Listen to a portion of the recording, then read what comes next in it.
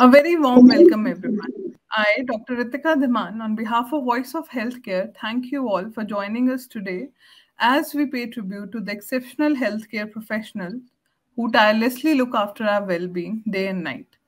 Voice of Healthcare, along with our supporting partner, Apollo Hospitals, has taken an initiative to recognize National Doctors Day through our video series, Know Your Doctor, which aims to showcase the diverse interests and passions of our esteemed doctors.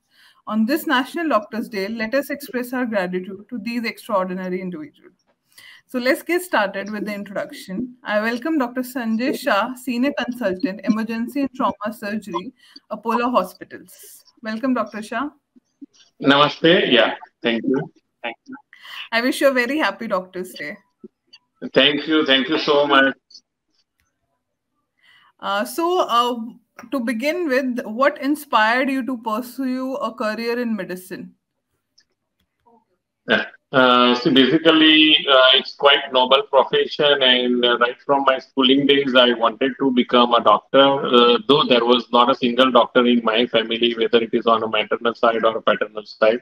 So that uh, continued uh, to be an inspiration for me. That I yes, I want to be a doctor, not only just for the community, but also for my family, which does require.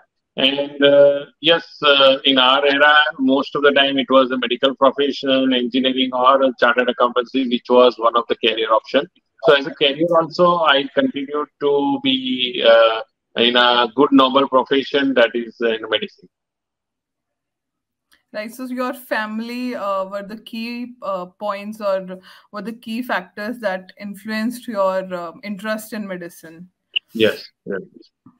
Yeah. So uh, we are talking about medicine. So are there any particular advancement or technologies that you find intriguing or believe will have a very significant impact on the future of healthcare? Um, as you are a trauma surgeon, so specifically in trauma surgery or emergency medicine.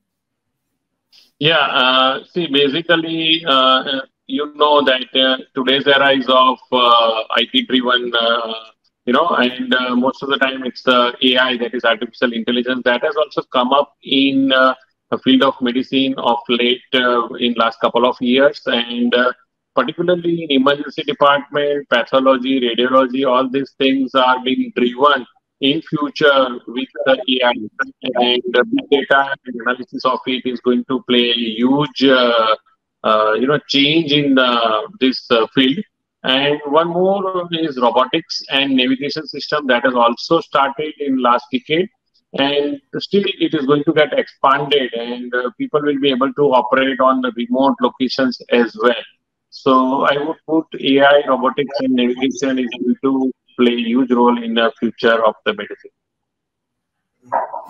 Yes, so uh, yes, as you have mentioned that uh, there will be amalgamation of uh, technology with healthcare, uh, which will lead us uh, uh, into a better or a significant, you know, healthcare um, advancements, we can say. And robotic is the one that is currently ongoing and will have in next ten years will transform basically healthcare systems.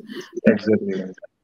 Yes. Uh, so, uh, what is uh, that message that you would like to give to your fellow doctors, apart from their professional, uh, apart from your professional, uh, uh, you know, um, career, or apart from what um, as a doctor that you are doing on a yeah. personal front, on a personal note? Okay.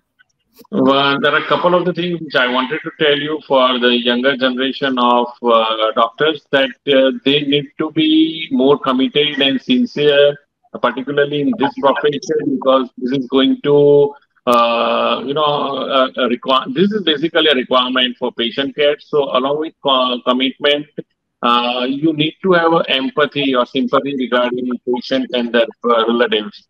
And secondly, on a personal front, yes, it is uh, uh, time consuming as well as uh, lack of the time to be given to the, your family members. So you need to have a good balance. So you need to maintain yourself cool and calm at the same time, give time to your family uh, whenever you can give and uh, keep a balance between uh, personal life and professional life.